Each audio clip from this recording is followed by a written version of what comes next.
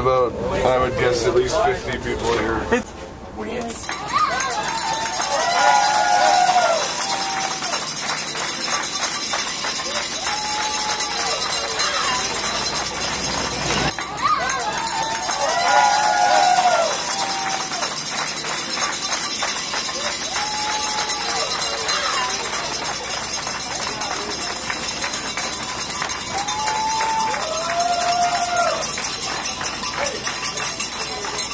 So about 50 fans come out here. You guys, some waiting since 4:30. Uh, our travel plans probably didn't help matters at all. But why come out at all? Hey, they showed up all season, so will I. I paid for it all season, and I'm, I'm a believer. So. How proud are you of uh, the team? Obviously, didn't win the Kelly Cup, but uh, did they did they uh, show the uh, the community proud? Absolutely, absolutely. Look how many teams didn't even get this far. You know, we have a great team, great group of guys. I'm, I'm committed to them because they're committed to us. All right, Joanne, uh, the flag in tow, 50 people here at least. Uh, you know, it's a, it's a Sunday night in, in southwest Michigan. It's sunny. Why are you here? Just to tell the team thank you and that we support them. Talk about uh, the season. Obviously, not every team, you know, 38 years here, there's been three championship teams. How important, though, it, it's it, you can tell the relationship between the fans and the uh, and the team. It's more than winning championships. There's a camaraderie between the fans and the team, and I think each year it's different, but this year it seems very special. It's time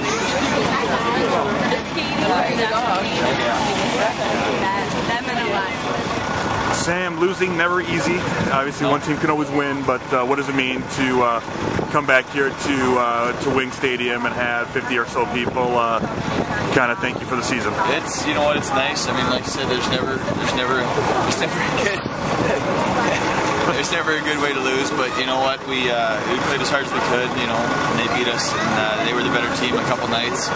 Um, you know, and to have the fans here when we roll in, it's always nice to know that you're appreciated and, and the fact that they, uh, they came out and supported us uh, all year and then after the season is, uh, is really special.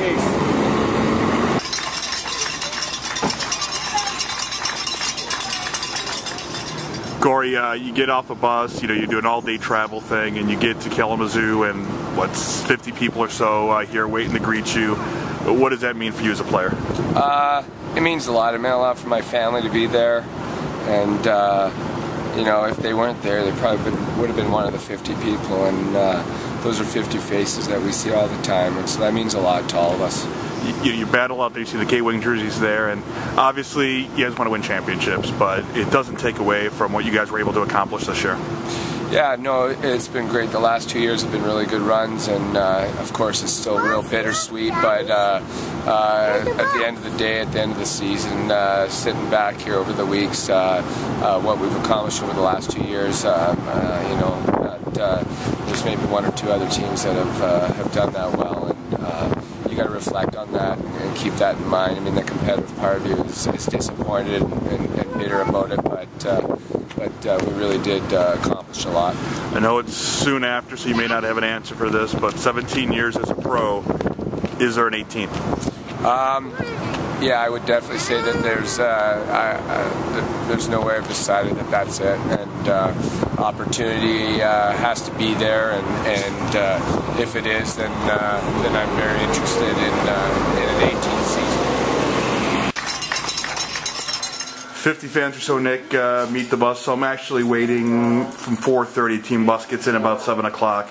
What does that mean to uh, to you and as well as the players? Uh, it just speaks volumes for the fan base we have here in Kalamazoo. You know, they, they obviously support us very well here, and um, you know those 50 people that take the time out of their day to come see us. Uh, you know, obviously we're we're disappointed still, and it's still pretty fresh and new that we've lost and our season's over. But um, to see them come in uh, cheering and waving flags for us as we pull into the bus uh, uh, certainly puts a smile on our face after a long day of travel. You know, you look online right now um, from people down in South Florida right now. They're winning. They just won the Eastern Conference Championship. They took time out to uh, post on our Facebook the class act the K-Wings organization is as far as how you guys handled the loss, how you guys uh, kind of respected them and kind of before you guys left the ice. What does that mean for mean for you that you know, you talk about bringing in players that have that quality, but to see it in the most, you know, toughest of circumstances kind of shows uh, the recruiting paid off. Well, uh, I, I mean, absolutely. I wouldn't expect anything less from our guys. You know, you know, we, we never gave up. Uh, we left everything out there on the ice on uh, Saturday night, and uh, we, we battled as hard as we could, and obviously came up short. and We're disappointed with that part of it, but you know, I knew our guys would handle themselves like uh, professionals, and uh, very proud of the group. And uh, you know, they're a bunch of guys that you know, one of the closer knit groups we've had here in Kalamazoo for a long time. Come for the party, stay for the game. Catch the action with the K-Wing.